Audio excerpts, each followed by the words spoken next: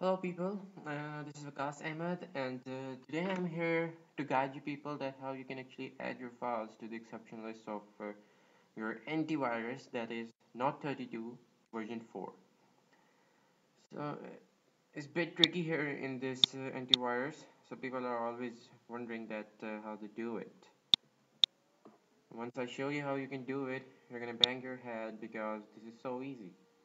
So you would come and enter the advanced setup here and uh, if the options are not available uh, make sure you change your mode here because by default it is actually set to the standard mode. So you would need to change it to the advanced mode first. Okay? So once you change it to the advanced mode you would come here into the setup and uh, you would have a drop down menu and then you would have an access to advanced setup or you can uh, access it by just pressing the F5 key that is the function key at your uh, keyboard at the top. So here um, you would have uh, exclusions here okay? So as you can see I've already added few files here so just to give you a bit of demo I'm gonna delete this uh, exception from here. So why are we doing it?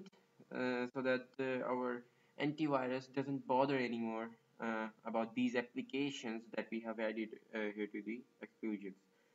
Well, uh, the right now what I had added was actually autoclubrevolution.exe.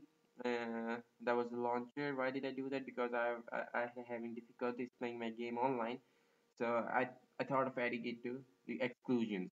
That's why I'm doing it.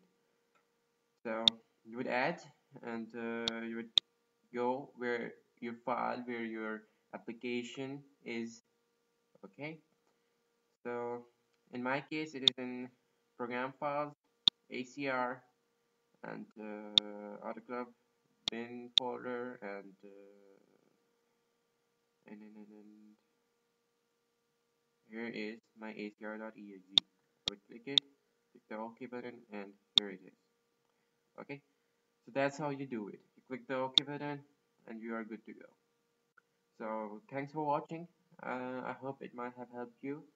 And uh, please don't forget to leave a comment if you have uh, any problems. And thanks for watching